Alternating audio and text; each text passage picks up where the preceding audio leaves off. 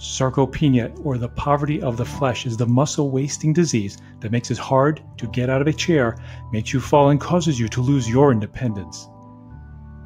Sarcopenia describes changes to the nervous system, endocrine system, levels of inflammation, distribution of body fat, as well as poor nutrition and reduced physical activity. Between 30 and 60 years of age, the average adult gains one pound of fat and loses half a pound of muscle mass yearly. This is a picture of a 40 year old triathlete's thigh muscles. What you can see is bone, which is the black area surrounded by lots of gray, dense muscle fiber. Now compare the prior picture to this 74 year old sedentary man, where the thin muscle fibers are surrounded by a great deal of fatty white tissue.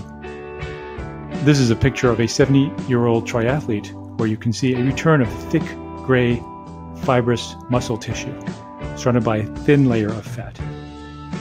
Some researchers believe that the simple absence of stimuli that promotes muscle formation may fundamentally explain age related muscle loss.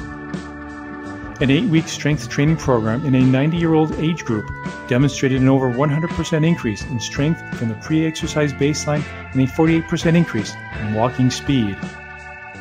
The American College of Sports Medicine and the American Heart Association suggest a minimum of two non consecutive days per week of strength training.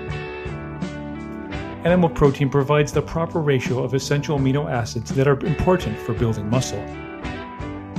The nine essential amino acids that humans need to consume as they cannot synthesize them are histidine, isoleucine, leucine, lysine, methionine, phenylalanine, threonine, tryptophan, and valine.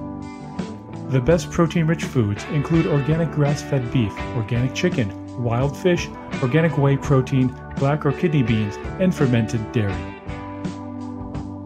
The recommended dietary allowance for protein in the older population is 1 to 1.3 grams per kilogram per day.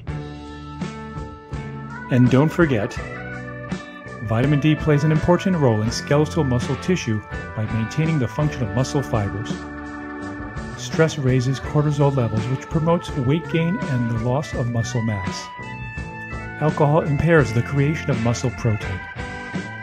Degradation of muscle protein is accelerated in older smokers. It's never too late to make the changes that will keep you independent for life.